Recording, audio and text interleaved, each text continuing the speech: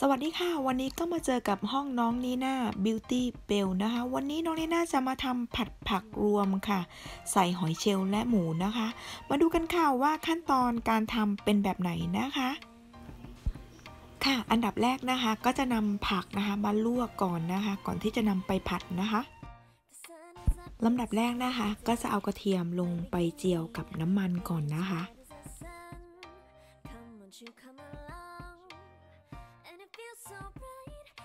luck is raining on me. Go and follow your heart.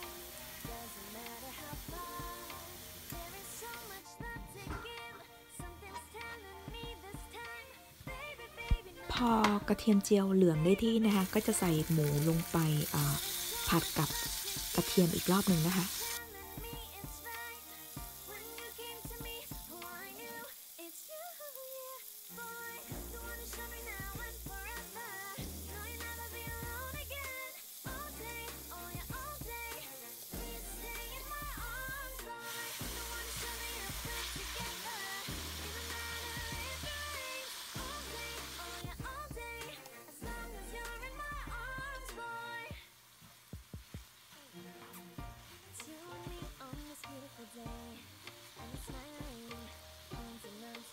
พอหมูสุกได้ที่แล้วนะคะ ตอนนี้ก็จะเตรียมหอยเชลล์ลงไปผัดกับหมูนะคะ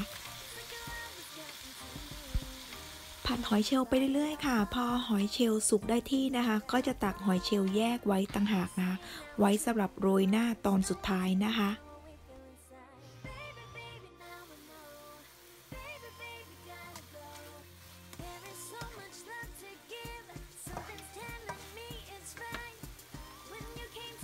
ขั้นตอนปอกไปนี้นะคะ จะเตรียมผักนะคะ เอาผักที่เราลวกไว้นะคะ แล้วก็ผักสดด้วยค่ะ เอามาผัดกับคลุกเคล้ากับหมูนะคะจะไม่ผัดผัดผักนานเกินไปนะคะ เพราะว่าผักเราลวกไว้สุกแล้วนะคะ ก็จะผักประมาณนิดนึงค่ะ ต่อไปนี้นะคะก็จะทำการปรุงนะคะ ก็จะมีรสดีนะคะ จะใส่รสดีไปก่อนนะคะ ใส่รสดีพอประมาณค่ะ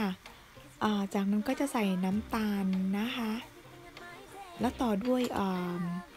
ซีอิ๊วขาวค่ะ ก็จะใส่ลงไปนะคะาการทำอาหารนะคะไม่มีสูตรตายตัวนะคะ ก็คือกะปริมาณเอาค่ะ จากที่ใส่รสดีน้ำตาลและซีอิ๊วขาวลงไปนะคะก็จะทำการคลุกเคล้านะคะให้ความร้อนเข้ามาถึงตัวผักนะคะ ก็จะผัดไม่นานค่ะ เพราะว่าผักของเราสุกง่ายนะคะ เพราะเราได้ลวกตั้งแต่ทีแรกแล้วค่ะ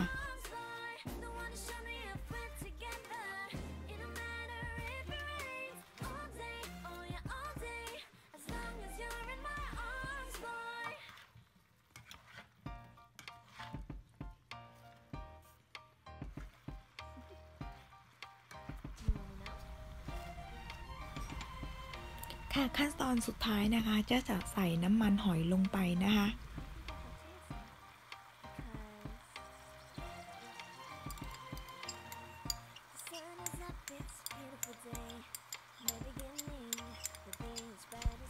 ทำผัดผักเยอะอยู่นะคะ เพราะว่าบ้านนี้จะกินผัด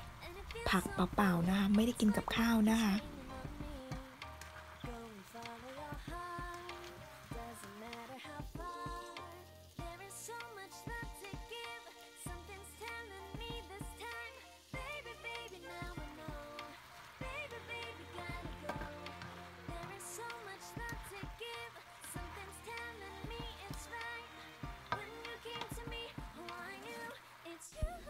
ค่ะ ตอนนี้ผัดผักรวมมิตรหอยเชลล์เราก็เสร็จเรียบร้อยนะคะ พร้อมเสิร์ฟนะคะ เป็นไงคะผัดผักรวมมิตรหอยเชลล์เราน่าทานไหมคะ